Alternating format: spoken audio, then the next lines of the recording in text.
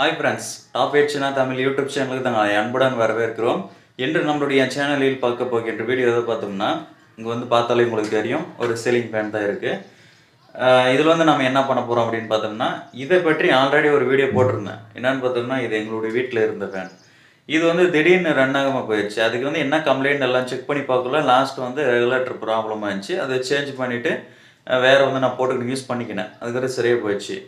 So அந்த video பார்க்காதவங்க இந்த வீடியோவோட லாஸ்ட் எண்டில் வரும். கண்டிப்பாக அந்த வீடியோ பாருங்கள் ஸோ அந் அந்த வீடியோ போட்டுட்டு நான் வந்து சொல்லியிருந்தேன் வியூவர்ஸ் சப்ஸ்கிரைபர்கிட்டலாம் இந்த வீடியோ வந்து எத்தனை பேர் நீங்கள் வந்து கமெண்ட் பண்ணுங்கள் நான் கண்டிப்பாக வந்து நெக்ஸ்ட்டு இது வந்து காயில் எப்படி செக் பண்ணுறது அதை பற்றி நான் போடுறேன் அப்படின்னு சொல்லியிருந்தேன். அதுக்காக தான் மொத்தமாக இது வந்து கழட்டி வச்சுருக்கேன். இதில் இருக்கக்கூடிய காயில் எப்படி செக் பண்ணுறது அது மட்டும் இல்லாமல் கண்டென்சர் செக்கிங் ஸோ ஆல்ரெடி நம்மளுடைய வீடியோ பார்த்தவங்க கண்டிப்பாக தெரியும். நான் வந்து எப்படி செக் பண்ணி காமிச்சேன்னா இதுலேயும் ஒரு டைம் நான் வந்து செக் பண்ணி காமிச்சிடுறேன். இதில் வந்து இன்னொரு மெத்தட் உங்களுக்கு வந்து சொல்லி தர போகிறேன் இந்த காயில் வந்து செக் பண்ணுறதுக்கு கரண்ட்டில் ஒரு மெத்தட் நம்ம வந்து செக் பண்ணலாம். இன்னொரு விஷயம் பார்த்தீங்கன்னா உங்கள்கிட்ட மல்டிமீட்டர் இருந்தால் இந்த மல்டிமீட்டர் பயன்படுத்தி கூட இந்த காயில் வந்து நம்ம செக் பண்ணிக்கலாம். இதை பற்றி தான் முழுமையாக நம்மளுடைய சேனல் என்று நாம் பார்க்க போகின்றோம். நம்மளுடைய சேனலை இப்போ தான் நீங்கள் வந்து புதுசாக பார்க்குறீங்கன்னா மறக்காமல் சப்ஸ்கிரைப் பண்ணிக்கோங்க. கூடவே வருகின்ற அந்த பெல் சிம்லையும் டிக் பண்ணிக்கோங்க. நாங்கள் எப்பப்போ வீடியோ அப்லோட் பண்ணுறோமோ உங்களுடைய மொபைலுக்கு நோட்டிஃபிகேஷனாக வீடியோ வந்துவிடும். ஓகே வாங்க இன்றைக்கான வீடியோக்குள்ளே போகலாம்.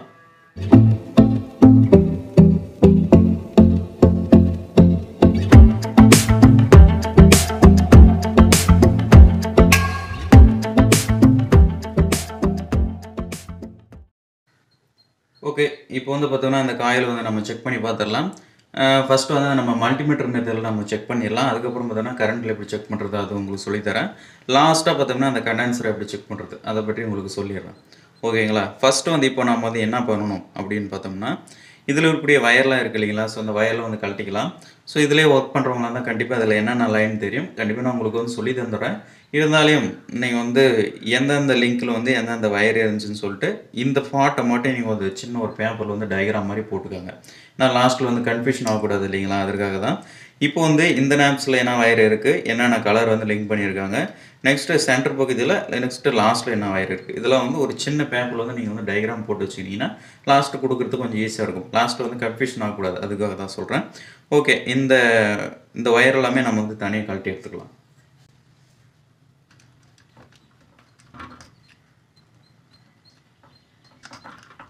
ஓகே கழட்டிட்டோம்.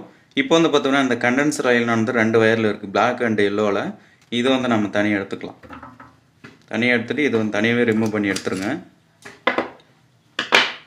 ஓகே எடுத்துட்டோம் இல்லைங்களா? இப்போ வந்து இந்த ஃபேனில் பொறுத்த வரைக்கும் மூன்று வயரானது இருக்குது ஸோ எந்த ஒரு நீங்கள் சீலிங் ஃபேன் எடுத்துக்கினாலையும் கன்ஃபார்ம் இந்த மூன்று கலர் தான் கொடுத்து வச்சுருப்பாங்க. அதாவது ரெட்டு எல்லோ பிளாக்கு இந்த மூணு கலர் தான் கொடுத்து வச்சுருப்பாங்க. இதில் வந்து என்னென்ன அப்படி வந்து தெளிவாக உங்களுக்கு சொல்கிறேன் பாருங்கள் இது வந்து ஃபேஸு இது வந்து காமன் தான். ஃபேஸ் வந்து டைரெக்டாக வரக்கூடியது. மற்றொன்று எல்லோ வந்து கனன்சர் லைன் இது வந்து கண்டென்சரோட ஒரு வயர் இணைஞ்சிருக்கும். இது வந்து நியூட்ரல் லைன் ஸோ இதுலேயும் ஒரு கண்டென்சர் வந்து இணைஞ்சிருக்கும். கெப்பாசிட்டர் ஸோ இதுக்கு பேர் கெப்பாசிட்டர்னு சொல்லுவோம். கண்டென்சர்னு நம்ம சொல்லுவோம். ஓகே இப்போ வந்து இந்த காயில் வந்து எப்படி செக் பண்ணுறது மல்டிமீட்டரில் எப்படி செக் பண்ணுறது பார்த்தோம்னா இந்த மல்டிமீட்டர் வந்து நம்ம வந்து பீப் சவுண்டுக்கு மாற்றிக்கலாம்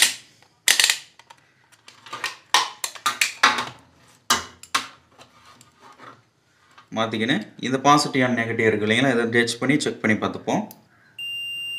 ஸோ கண்டினியூ ஆகிட்டது நம்மளுக்கு வருது. இப்போ வந்து இந்த காயில் வந்து மல்டிமீட்டரில் எப்படி செக் பண்ணுறது அப்படின்னு பார்த்தோம்னா இப்போ வந்து எல்லோ வயர் இருக்குது இல்லைங்களா? ஸோ எல்லோ வயர்லேயும் ரெட் வயர்லேயும் இது வந்து வைங்க. ஸோ உங்களுக்கு வந்து ரீடிங் ஆனது ஓடும். ஸோ ரீடிங் வருதுங்களா? ஸோ இந்த மாதிரி ரீடிங் வந்து இரநூத்தி நாலில் நிற்கிது பாருங்கள் இரநூத்தி மூணு இரநூத்தி நாலு. இந்த சம்திங்கில் நிற்கிது ஓகே நெக்ஸ்ட் பார்த்தோன்னா எல்லோவிலேருந்து இந்த பிளாக்கு ஸோ இது எவ்வளோ ரீடிங் வருது பாருங்கள் இது எவ்வளோ வருது? Four hundred seven three so இந்த மாதிரி செக் பண்ணக்குள்ள அதில் இருக்கக்கூடிய ரீடிங் நம்மளுக்கு முக்கியம் கிடையாது. ஸோ இந்த மாதிரி வந்து ஏதோ ஒரு ரீடிங் நம்மளுக்கு ஓடணும். ரீடிங் ஓடணும் அல்லது பீப் சவுண்டு கேட்கணும். அப்படி கேட்டால் காயில் வந்து நல்லா இருக்குன்னு அர்த்தம். ஸோ அந்த மாதிரி வந்து ரீடிங் ஓடுது. ஸோ ரீடிங் எதுவுமே ஓடலை. உங்களுக்கு வந்து ஜீரோவில் காமிச்சிச்சுன்னா கண்டிப்பாக வந்து காயில் போச்சுன்னு அர்த்தம். ஸோ இந்த மெத்தேடு பார்த்தோம்னா இந்த மல்டிமீட்டரில் நம்ம வந்து செக் பண்ணிக்கலாம். நெக்ஸ்ட் பார்த்தோம்னா கரண்ட் மெத்தேடு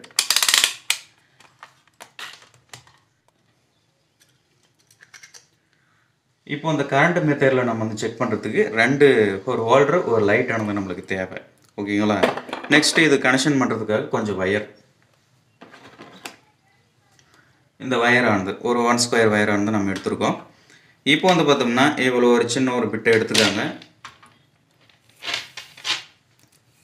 சரிசமமாக பார்த்து இந்த இடத்துல ஒரு கட்டிங் ஆனது போட்டுருக்கலாம்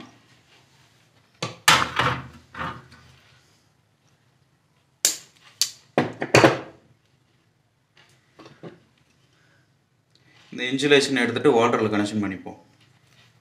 இது போல் வந்து ஒன் சைடு வந்து சிலிவு எடுத்துக்கின்னு ஹோல்டர் எடுத்துக்கோங்க. ஹோல்டரில் இருக்கக்கூடிய நேப்ஸ் ஸ்க்ரூ வந்து லூஸ் பண்ணிவிட்டு அதில் வந்து இணைச்சிப்போம். ஒவ்வொரு ஸ்க்ரூலையும் ஒவ்வொரு வயரும் வந்து இணைச்சிக்கலாம்.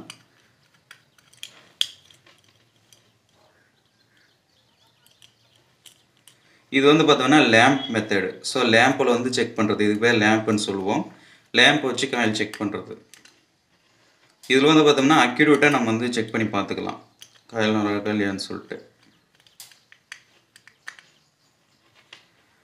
ஓகே ஓல்டர் கனெக்ஷனாக வந்து கொடுத்துட்டோம். இப்போ வந்து பார்த்தோம்னா நம்ம என்ன செய்யணும் அப்படின்னு பார்த்தோம்னா ஓல்டர் கொடுத்துட்ட பிறகு இவ்வளோ ஒயர் இருக்குது ஸோ இவ்வளோ ஒயரில் ஒரு பக்கம் வந்து ரெண்டு எண்டு இருக்கு இல்லைங்களா? இதில் ஏதோ ஒரு ஒரு ஒயர் ஒரு ஒயர் தண்ணி எடுத்துக்கோங்க. இந்த ஒரு ஒயரில் வந்து இது வந்து இப்படி டபுளாக பண்ணிக்கோங்க. ஸோ இது போல் வந்து டபுளாக பண்ணிக்கோங்க. இந்த இடத்துல ஒரு கட்டிங் போடுங்க.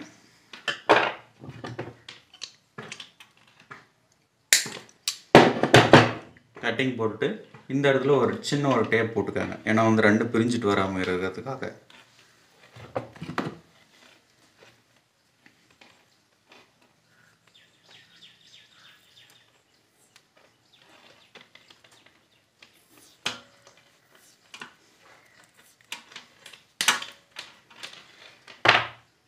ஓகே. இப்போ இதில் வந்து இன்சுலேஷன் ஆனது எடுத்துப்போம்.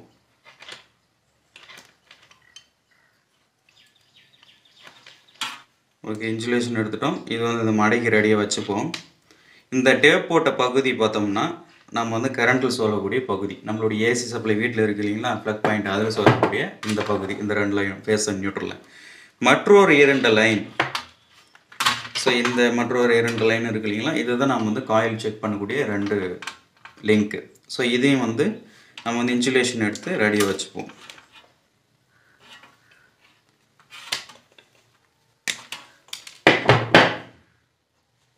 So insulation எடுத்துக்கணுங்களா? ஸோ இதில் வந்து ஆல்ரெடி இருக்குது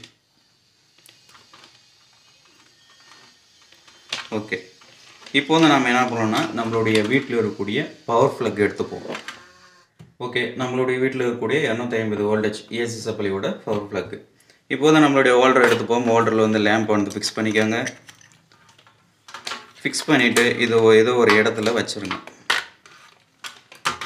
இந்த டேப் அடிச்சோம் இல்லைங்களா? இந்த பகுதியை வந்து ஃபேஸ் அண்ட் நியூட்ரலில் நம்ம வந்து சொருகிற போகிறோம் ஓகேங்களா? இப்போ வந்து நீங்கள் சுவிட்சு போடக்கூடாது.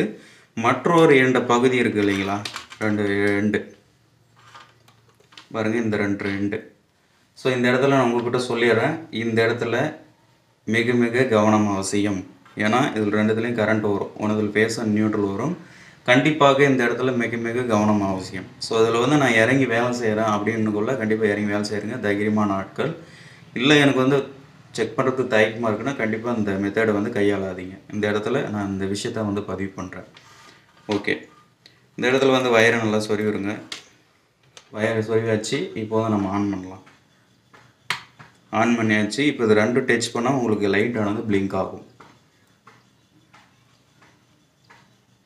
ஆகுதுங்களா? இப்போ வந்து நம்ம வந்து காயில் எப்படி செக் பண்ணுறது அப்படின்னு பார்த்தோம்னா ஒரு ஒயரை வந்து காயிலோட ரெட் ஒயரில் வைங்க. ஒரு ஒயர் எல்லோவில் வைங்க.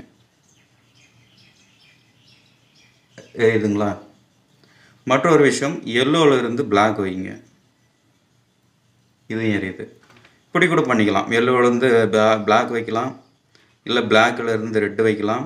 இந்த மாதிரி எல்லாத்துலேயும் நம்ம வந்து மாற்றி மாற்றி வைக்கல கண்டினியூட்டியாக நம்மளுக்கு லைட் ஆனது எரியணும். ஸோ இது போல் வந்து எந்த ஒரு ப்ராப்ளம் இல்லாமல் நம்மளுக்கு வந்து லைட் ஆனது பிளிங்க் ஆனால் கண்டிப்பாக நம்மளுக்கு வந்து காயில் நல்லா இருக்குன்னு சொல்லிட்டு செக் பண்ணிக்கலாம். இதில் வந்து இன்னொரு விஷயம். இதில் இருக்கக்கூடிய காயிலானது இந்த பாடிக்கு வந்து எதாவது டச் ஆகுதா?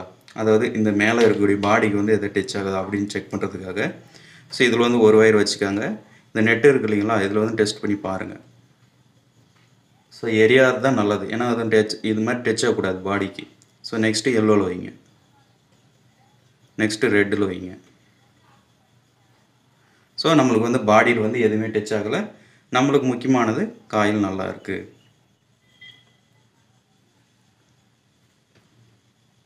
ஓகே பார்த்தோம் இல்லைங்களா? ஸோ இது போல் தான் நம்ம வந்து ஆஃப் பண்ணிவிட்டு வயரை பிடிங்கிருங்க.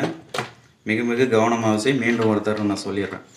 ஓகே இப்போ வந்து நம்ம செக் பண்ண இல்லைங்களா? இது போல் தான் பார்த்தோம்னா ஒரு காயிலானது நம்ம செக் பண்ணுறது ஓகே நெக்ஸ்ட்டு லாஸ்ட்டாக நான் சொன்னது இந்த கண்டென்சர் ஸோ அந்த கண்டென்சர் வந்து வீக் ஆகிட்டால் நம்மளுக்கு வந்து ஃபேனோட ஸ்பீடு குறைஞ்சி போயிடும் ஸோ ஃபுல்லாக இது வீக் ஆகிப்பட்டால் கண்டிப்பாக ரன்னிங் ஆகாது. ஸோ லைட்டாக மூவ்மெண்ட் மட்டும் இருக்கும். அந்த மாதிரி கம்ப்ளைண்ட் இருக்குள்ள கண்டிப்பாக இது வந்து ஃபால்ட்டு தான்.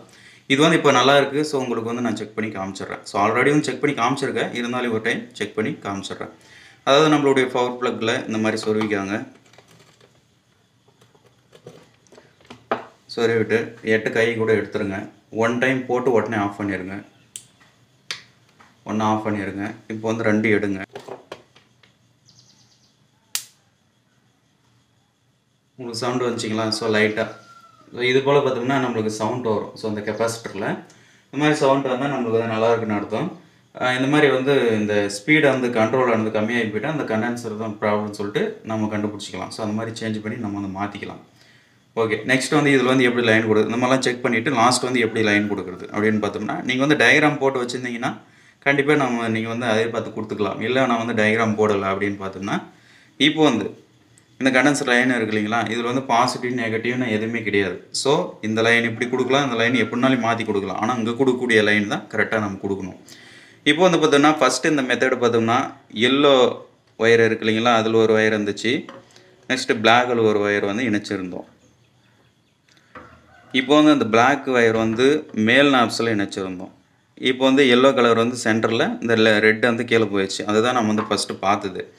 இந்த இடத்துல பார்த்தோம்னா நீங்கள் வந்து இந்த எல்லோ வந்து இந்த பிளாக் வந்து மேலே வருது இல்லைங்களா? இந்த எல்லோ வந்து மேலே இப்படி மாற்றி குத்துட்டிங்கன்னா எதுவும் ஆகாது ஒன்றும் பிரச்சனை ஆகாது. ஃபேன் வந்து ரிவர்ஸில் சுற்றும் ஸோ ரிவேர்ஸில் சுற்றினா உங்களுக்கு காற்றானது கீழே வராது. காற்றெல்லாம் மேலே தான் போகும். அதுக்காக தான் உங்களுக்கு வந்து ஒரு டயக்ராம் நான் போட சொன்னது. ஸோ அதுக்காக பார்த்தோம்னா இந்த கருப்பு கலர் எப்படி இருந்துச்சோ இது மேல் சைடு கொடுத்துடணும். நெக்ஸ்ட் வந்து எல்லோ கலர் எப்படி இருந்துச்சோ அது வந்து சென்டர் பகுதி கொடுத்துடணும். அடுத்தது பார்த்தோம்னா இந்த ரெட் கலர் எங்கே இருந்துச்சோ அது வந்து லாஸ்ட் பகுதியில் கொடுத்துடணும். இப்படி வந்து கொடுத்துட்டோம்னா நம்ம வந்து காயில் செக் பண்ணிக்கலாம். நெக்ஸ்ட்டு கண்டன் செக் பண்ணிக்கலாம். ஸோ இதை பற்றிலாம் நம்ம வந்து பார்த்தோம் போது. ஸோ இந்த வீடியோ உங்களுக்கு பிடிச்சிருக்கு நம்புகிறோம் ஸோ இந்த வீடியோ பிடிச்சிருந்தா லைக் பண்ணுங்கள் உங்களுடைய நண்பர்களுக்கு எல்லாருக்கும் வந்து ஷேர் பண்ணுங்கள் கண்டிப்பாக அனைவரும் பார்ப்பதற்காக. இந்த வீடியோ வந்து லைக் பண்ணுங்கள் எனக்கு கொஞ்சம் மோட்டிவேஷன் ஆகும். இல்லை இந்த வீடியோவிலும் ஒரு சில சந்தேகங்கள் கேள்விகள் இருந்தாலும் கண்டிப்பாக கீழே உள்ள கமெண்ட் பாக்ஸில் தெரிவிங்க. இந்த வீடியோ உங்களுக்கு பிடிச்சிருக்கேன் அப்புறம் ஓகே நன்றி.